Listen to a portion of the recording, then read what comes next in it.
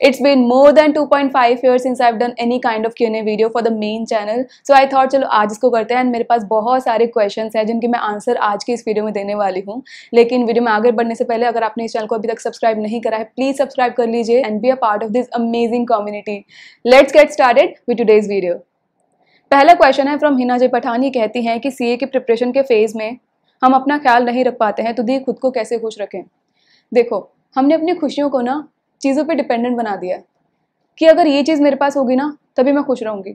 अगर मैंने डिग्री ले ली तो मैं खुश रहूँगी, मुझे जॉब मिली, तब मैं खुश रहूँगी, मुझे ऐसा पार्टनर मिले, तब मैं खुश रहूँगी, या फिर मैंने इसी चीज़ कोई खरीदी, तब मैं खुश रहूँगी। Don't attach your happiness to a thing कि वो चीज़ मुझे मिलेगी, तभी मैं खुश रहूँगी, नहीं। Be happy in the present moment जो आपकी लाइफ में अभी हो रहा है ना, आपकी लाइफ में फिर से नहीं रिपीट होंगी ये सारी चीज़ें। So be happy be grateful उसके अलावा stop comparing yourself okay अपने अचीवमेंट्स को, अपनी जर्नी को दूसरों की जर्नी या फिर अचीवमेंट से बिल्कुल भी ना कंपेयर करें। आपकी जर्नी अलग है, उनकी जर्नी अलग है, उनके लाइफ के सर्कमस्टांसेस अलग हैं, आपकी लाइफ के सर्कमस्टांसेस अलग हैं। तो never ever compare yourself and also spend time with nature ठीक है? वॉक करो फ्रेश एयर लो, खुद को हमेशा पॉजिटिव वर्ड से फ़ीड करते रहे time to time think good about yourself and धीरे धीरे करके आपको खुशी जो है ना उन छोटे छोटे मोमेंट्स में मिलनी शुरू हो जाएगी। आपको किसी पर्टिकुलर डेस्टिनेशन पर पहुँचने की ज़रूरत नहीं पड़ेगी खुश रहने के लिए। अद्भुत पूछते हैं how to keep mind strong before exams ठीक है? तो basically I think you are talking about that how to stay confident before exams और how to stay confident during the exams देखो first of all have a positive approach जितना ज़्यादा आप positive रहोगे, उतना ज़्यादा आपका रिज़ल्ट भी पॉजिटिव आता है। फॉलो पॉजिटिव अफर्मेशंस बोलना भी है आपको और लिखना भी है आपको। विजुलाइज योर सक्सेस जब भी लाइफ में कुछ काम करना होना और मोटिवेशन ना मिल रही हो, एक चीज़ करो, आँखें बंद करो और खुद को विजुलाइज करो कि आपको वो चीज़ मिल चुकी है। आप कोई भी एग्ज़ाम दे रहे हैं विजुलाइज करो कि आप उस एग्ज़ाम को क्लियर कर चुके हैं, आपकी कॉन्वोकेशन हो रही है and you have your parents decide you उसके अलावा एग्ज़ाम पॉइंट ऑफ़ व्यू से कहूँ अगर मैं then revise as much as you can specially अगर आपके एग्ज़ाम्स बहुत पास हैं देन कोई भी नया टॉपिक ना उठाएँ जो पुराने टॉपिक्स हैं ना, उसको ज़्यादा से ज़्यादा रिवाइज करें प्रैक्टिस करें। उसके अलावा गिव मॉक टेस्ट ठीक है? मॉक टेस्ट देने से ना आपको कॉन्फिडेंट बहुत बढ़ता है। और आप जब एग्ज़ाम में बैठकर एग्ज़ाम देते हैं ना तो आपको ऐसा नहीं लगता कि कोई नई चीज़ हो रही है या फिर बहुत दिनों बाद आप एग्ज़ाम लिख रहे हैं। मॉक टेस्ट से आपकी वो तैयारी पहले ही हो जाती है। ये चीज़ें करेंगे, आप डेफिनेटली एग्ज़ाम में एक स्ट्रॉन्ग माइंड के साथ बैठ पाएँगे। युग हैं कोई सीए बनने के बाद कोई ऐसा मोमेंट जब आपको लगा कि yes I am a chartered accountant so ऐसे तो बहुत सारे मोमेंट्स हैं मतलब मेरे लाइफ में, जब मुझे लगा yes I am a chartered accountant पहली बात रिस्पेक्ट बहुत मिलती है। किसी को पता चल जाए ना कि आप सीए हैं मतलब उनका आपको देखने का नज़रिया ऐसा हो जाता है, अरे आप सीए हैं, आप सच बोल रहे हैं, आप सीए हैं। मतलब ऐसा लगता है उनको कि ये तो बहुत बड़ी चीज़ होगी कि इस लड़की ने सीए क्लियर कर लिया। क्योंकि अगर मैं अपनी बात बताऊँ दैट मेरे अराउंड ऐसे लोग नहीं हैं जो इतना ज़्यादा पढ़े हों। तो बहुत अच्छा लगता है जब मेरे पापा अपने फ्रेंड से या फिर रिश्तेदारों में मुझे इंट्रोड्यूस कराते हैं तो अमेजिंग फीलिंग होती है। मतलब बाकी सारी चीज़ें साइड में और मेरे पापा मुझे अपने फ्रेंड से इंट्रोड्यूस कराएँ कि मेरी बेटी सी है वो खुशी बहुत अलग होती है। सो so, ऐसे बहुत सारे मोमेंट्स हैं। चलो नेक्स्ट क्वेश्चन की तरफ़ बढ़ते हैं। Your hair care secret so hair care secret थोड़ा डिफरेंट क्वेश्चन है but still I want to answer मैं ना अपने स्किन केयर को लेकर, अपने हेयर केयर को लेकर बहुत ज़्यादा बहुत ज़्यादा पर्टिकुलर हूँ। हालाँकि, बहुत ज़्यादा हेल्दी नहीं है मेरे हेयर बट फिर भी मैं बहुत केयर करती हूँ कि जो जितना है ना ये सस्टेन रहे। आई डू ऑयलिंग रेगुलरली मैं शैम्पू डाइल्यूट करके यूज़ करती हूँ। डायरेक्ट नहीं लगाती हूँ कभी भी। I use conditioner and I have a serum as well जो कि आपको हेयर वॉश के बाद लगाना होता है। और आई डू ड्राई कॉम्बिंग मेरे पास uh, नीम कॉम्ब है वुडन कॉम्ब जो होती है वो मैं यूज़ करती हूँ। बहुत सारी चीज़ें छोटी छोटी जो मैं अपने हेयर केयर के लिए यूज़ करती हूँ और आप भी, या ट्राई कर सकते हैं। And yes I have started using anti dandruff shampoo although आपको ऊपर ऊपर से फ्लेक्स नहीं दिखेंगे बट बहुत बार ऐसा होता है कि आपके जो स्कैल्प है ना, उसमें डेंड्रफ होता है, जिसकी वजह से आपको हेयर फॉल भी होता है। तो you can incorporate anti dandruff shampoo जिससे आपका जो हेयर फॉल है, वो कम हो जाता है। So yes these are all the secrets उसके अलावा अंशी बोलती हैं दी how can I be increase my height because I also want to look like a corporate girl what's your height मतलब ये कैसे क्वेश्चन है आपका? आपको कॉपरेट गर्ल लगने के लिए अच्छी हाइट होना ज़रूरी है? बिल्कुल भी नहीं। वैसे मेरी height five four five five के अराउंड है। मतलब मुझे भी नहीं पता फाइव फोर है फिर फाइव फाइव ऐसी कुछ है। और कॉपरेट लुक लेने के लिए आपको अच्छी हाइट का होना ज़रूरी नहीं है। Just wear good clothes okay wear a smile on your face keep your hair very sleek and you will look corporate girl ठीक है? आपके लिए हाइट मैटर नहीं करती बिल्कुल भी। तो ऑल दो मैंने आंसर कर दिया आपके क्वेश्चन को आ, उसके अलावा मून ऑर्किड करके हैं कुछ। दी समटाइम्स इतना ज़्यादा डिप्रेस रहता है माइंड बिना किसी वजह की पढ़ाई नहीं हो पाती है। उस फ़ेज़ से कैसे निकलें? देखो अगर आप पढ़ते टाइम पर आपको बहुत स्ट्रेस फील होता है या फिर आप एक डिप्रेस्ड डिप्रेस फेस में चले जाते हैं और मैं ना इस वर्ड को ट्राई करती हूँ कम यूज़ करूँ क्योंकि ऐसे जो नेगेटिव वर्ड्स होते हैं डिप्रेशन स्ट्रेस एनजाइटी अगर आपको नहीं भी होंगे ना, अगर आप इन वर्ड्स को बार बार यूज़ करेंगे तो आपके ही अफर्मेशन बन जाते हैं। तो try to use this words as lesser as possible उसके अलावा find your motivation to study first of all आपके दिमाग में आपको पता होना चाहिए that why are you studying आपके स्टडीज़ के पीछे क्या मोटिवेशन है? आप क्यों पढ़ना चाहते हैं? अगर आपको बहुत ज़्यादा आपके दिमाग में नेगेटिव थॉट्स आ रहे हैं then write everything on paper paper पर लिखो कि आप क्या फील कर रहे हो, कौन से नेगेटिव थाट्स आपके दिमाग में चल रहे हैं। ओके okay, तो पेपर पे लिखने से ना बहुत फ़ायदा होता है। आपके अंदर की जो फीलिंग्स है ना वो वेंट आउट हो जाती हैं पेपर पे। और उसी में आप लिख सकते हो कि कौन सी चीज़ें हैं जो अभी आप कर सकते हो टू कंट्रोल दिस फीलिंग्स और कौन सी ऐसी चीज़ें हैं जो कि आउट ऑफ़ कंट्रोल हैं। जो आउट ऑफ़ कंट्रोल है वो तो ऑब्वियसली आपके कंट्रोल में नहीं तो आप कुछ नहीं कर पाएँगे उसके लिए। लेकिन जो कंट्रोल में चीज़ें हैं वो डेफिनेटली आप कर सकते हैं। तो जो आपके अंदर जो भी फीलिंग आ रही है ना डिप्रेस्ड वाली वो सब चली जाएगी। एंड आप अच्छे से अपनी पढ़ाई भी कर पाएँगे। So next question is from Hargun was a topper in your school did it help you a bit in your CA journey or even a topper can fail in CA so so, school में yes I was a topper मैं हमेशा second पे आती थी. First तो नहीं आई हूँ कभी. सेकेंड ही आती थी ऑलवेज तो मैं स्कूल में डेफिनेटली टॉपर थी. बट इस चीज़ ने मेरी CA में सच कोई हेल्प नहीं करी टू बी ऑनेस्ट पहले आपने क्या किया है? आप टॉपर थे आप एवरेज थे या क्या था? इट डजेंट मैटर बट आप CA में आकर क्या परफॉर्म करते हो? किस तरह से अपनी पढ़ाई को लेते हो? वो ज़्यादा मैटर करता है. क्योंकि आई थिंक ये एग्ज़ाम्पल मैंने बहुत बार लिया that there are so many people जो कि अपने स्कूल टाइम में टॉपर्स थे, लेकिन सीए में आकर उनको मल्टीपल अटैम्प्ट लगे एंड बहुत सारे बच्चे सीए बन भी नहीं पाए। मेरे बहुत सारे ऐसे फ्रेंड्स हैं। टॉपर्स होने के बाद भी सीए में आकर वो सी ए बन नहीं पाए and finally quit C A और बहुत सारे ऐसे बच्चे हैं जो एवरेज थे स्कूल टाइम में बट सीए में आकर उनकी रैंक आ गई तो मतलब आप पहले क्या थे? आपका पास रिकॉर्ड बिल्कुल भी डिफाइन नहीं करता है कि आपको सी में सक्सेस मिलेगी या फेलियर मिलेगा। बिल्कुल भी नहीं। आप सी में आकर कैसे परफॉर्म करते हो, वो आपकी जर्नी डिसाइड करने वाला है। ठीक है? तो मेरा मुझे कोई फ़ायदा नहीं हुआ अपने टॉपर होने का। बट हाँ ये था कि मुझे पढ़ाई हमेशा से पसंद थी तो मैं फेल होने के बाद भी पढ़ती रहती थी। मुझे बुक से हमेशा प्यार था तो ये चीज़ कहीं ना कहीं मेरी हेल्प करती थी टू ओवरकम माई फेलियर ये है जाकी की तरफ़ से। What is the one thing that keeps you motivated every time I will love to hear that from you and will apply it on me काफ़ी इंटेंस क्वेश्चन पूछा है। एक चीज़ जो मुझे हमेशा मोटिवेटेड रखती है is that my past journey मैं किन सिचुएशन को ओवरकम करके यहाँ तक आई हूँ? जब भी मुझे ऐसा लगता है ना कि कोई गोल मेरे लिए बहुत बड़ा है असफर तूने ना अपने लिए बहुत बड़े ड्रीम्स देख लिए हैं तो हमेशा अपने पास को रिकॉल करती हूँ कि असफर तू यहाँ से उठकर यहाँ पर आ पाई तो तू आगे भी तो जा सकती है। सो so, ये चीज़ हमेशा मैं खुद को रिमाइंड कराती रहती हूँ कि इस पर don't underestimate yourself तूने अभी तक अपनी लाइफ में बहुत कुछ अचीव करा है इतने सारे ऑर्ड्स होने के बाद भी and you can still achieve so many things in your life काफ़ी बार लो फेस भी आता है ऑब्वियसली मेरी लाइफ में।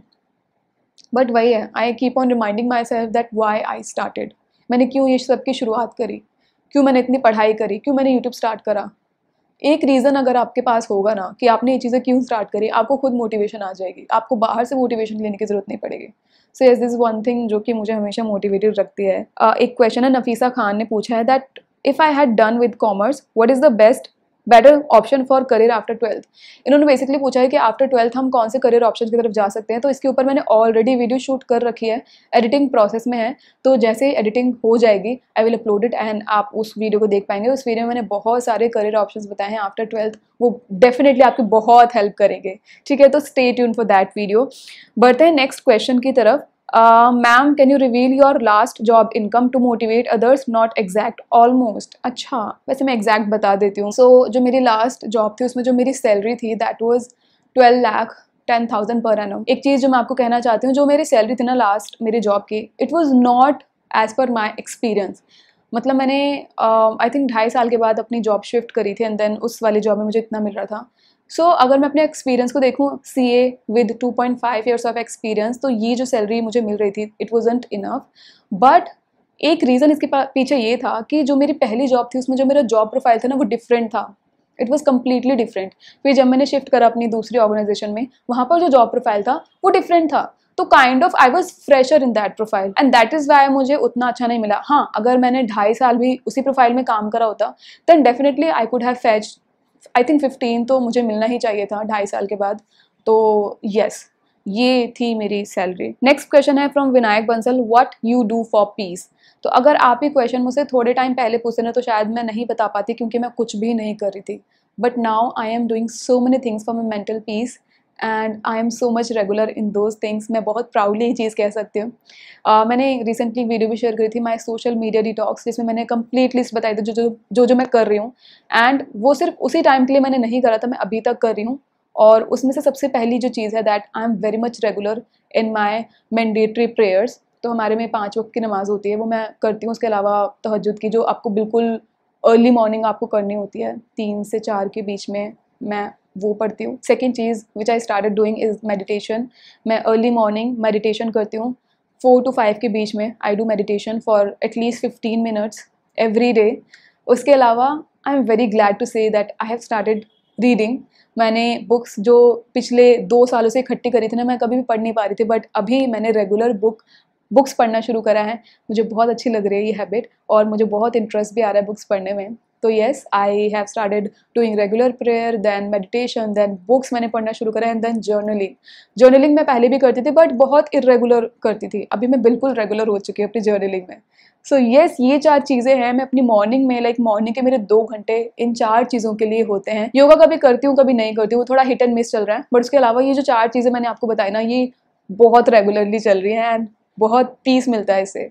तो अगर आप चाहो तो आप भी ट्राई कर सकते हो। ये सारी चीज़ें मैं कर रही हूँ for my mental peace okay next question is from Kushal Sharma what do you feel most tough subject while doing C ये पूछ रहे हैं कि बेसिकली सीए करने के टाइम पर आपको कौन सा सब्जेक्ट सबसे ज़्यादा टफ लगा?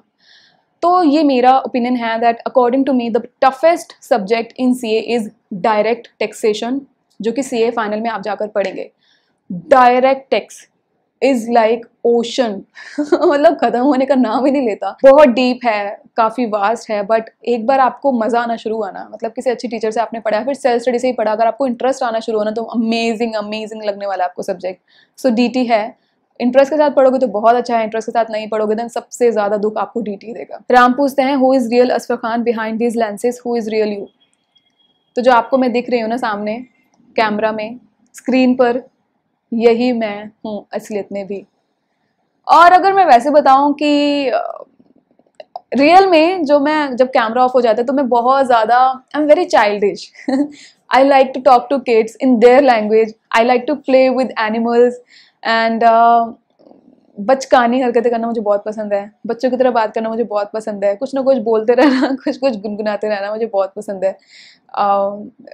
या, ये हूँ मैं असलियत में मतलब मेच्योर भी हूँ मतलब जब सिचुएशन आती है ना मेच्योर बनने की तो मैं बिल्कुल मेच्योर हूँ। मतलब आपको लगा कि मैं अपनी एज से पहले ही बहुत मेच्योर हो चुकी हूँ, जो कि मैं हूँ।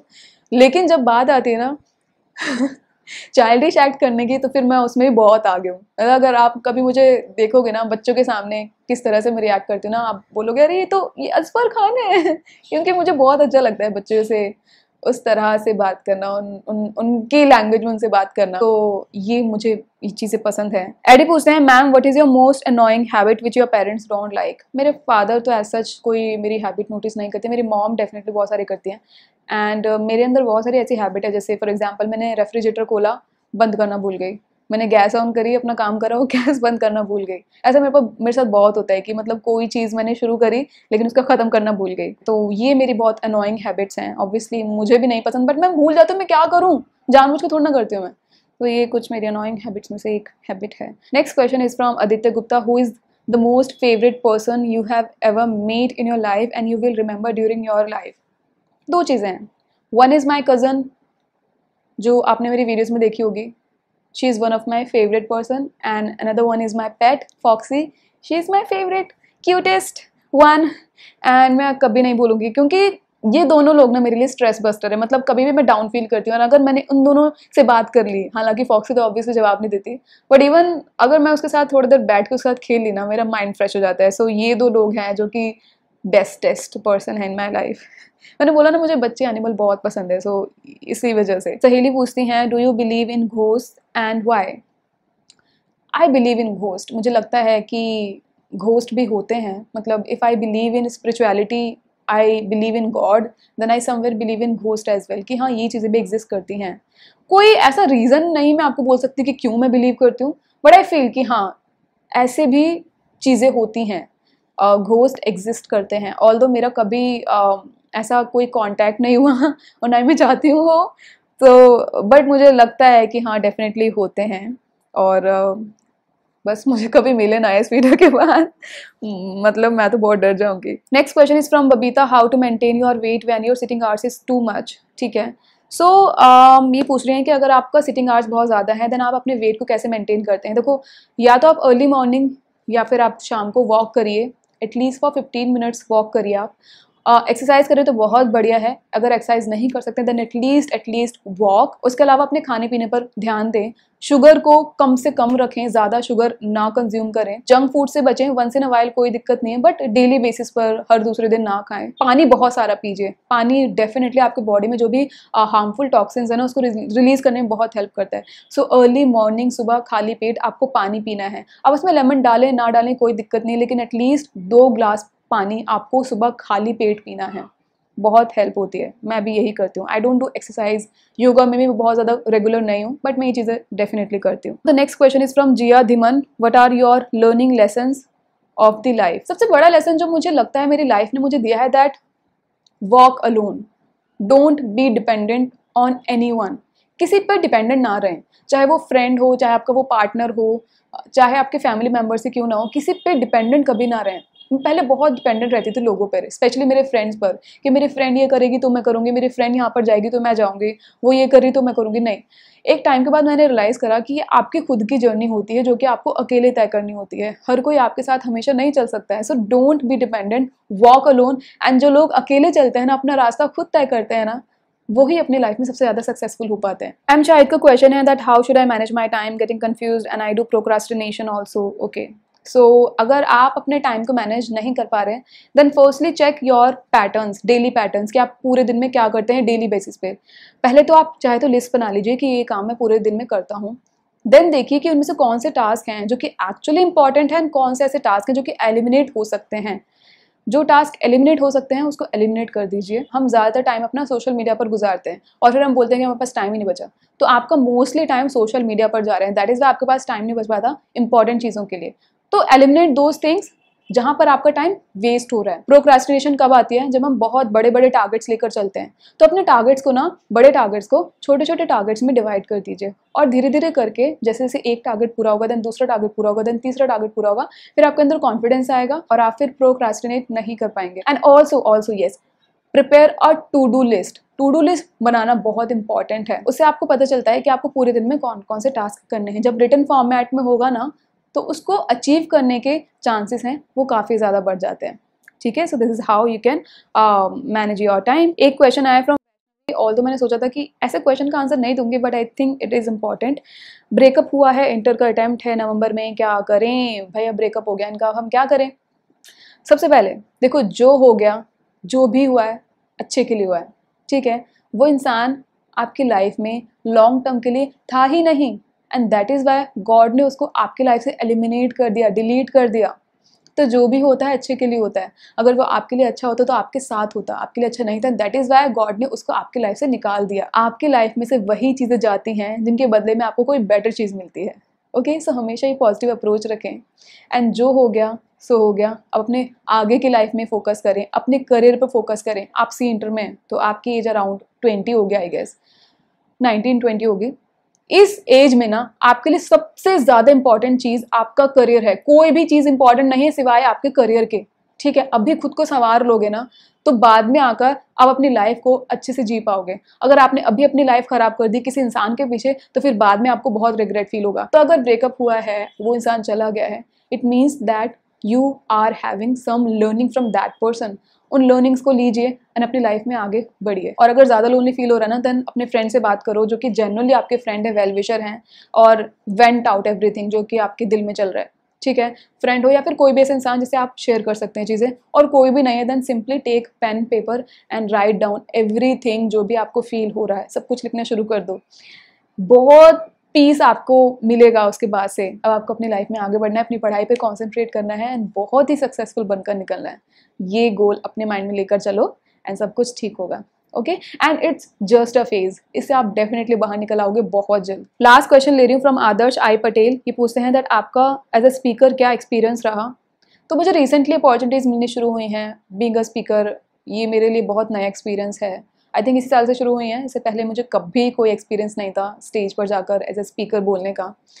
एक्सपीरियंस बहुत अमेजिंग होता है एंड uh, अगर मुझे पहले मिला होता ना तो शायद मैं बहुत ज़्यादा नर्वस होती बहुत ज़्यादा शायद काँप रही होती। लेकिन अब क्या हो गया ना कि कैमरा पर बोलने का इतना एक्सपीरियंस हो चुका है ना कि अब अगर स्टेज पर मैं खड़ी होकर बोलूँ ना तो मुझे इतना डर नहीं लगता। मतलब नर्वसनेस थोड़ी बहुत तो होती है क्योंकि ऑब्वियसली मेरा जो एक्सपीरियंस है वो नया नया है। अभी थोड़ा यूज़ टू होने में टाइम लगेगा। तो अभी मैं नई हूँ बहुत इन चीज़ों में तो नर्वसनेस थोड़ी बहुत होती है बट इतनी नहीं जितनी तब होती है अगर मैं यूट्यूब पर नहीं होती या फिर मैं वीडियोज़ नहीं बनाती। तो अब मुझे इतना ज़्यादा प्रैक्टिस हो गई ना यूट्यूब वीडियोज़ बनाने से कि अब मैं आराम से बोल सकती हूँ स्टेज पर और मुझे मज़ा भी आता है। कि हाँ लोग मुझे सुन रहे हैं एंड दे वैल्यू मी और ऑब्वियसली मैंने कुछ करा होगा ना अपनी लाइफ में तभी तो मुझे एज अ स्पीकर बुलाया जा रहा है। तो ये सब देख कर ना बहुत खुशी होती है कि हाँ I am getting the respect और बहुत सारे फ़ैन से सब्सक्राइबर से मिलने का मौका मिलता है। और जब वो लाइव आपको बताते हैं कि uh, हम आपका चैनल फॉलो करते हैं आपकी वीडियोस बहुत अच्छी होती हैं कंटेंट बहुत अच्छा होता है मज़ा आ जाता है। मतलब ऑफलाइन मीटअप्स हो जाते हैं। ऐसे इवेंट से। और भी बहुत सारे पॉजिटिव मुझे मिल रहे हैं और आगे भी बहुत सारे इवेंट्स लाइंड अप हैं और आप बहुत जल्दी देखोगे मेरे इंस्टाग्राम पर फॉलो करोगे तो आपको सब कुछ पता चल जाएगा। सो so यस yes, इसी से हम अपना जो क्यू एन ए राउंड है वो ख़त्म करते हैं क्योंकि वीडियो ऑलरेडी बहुत लंबी हो चुकी है।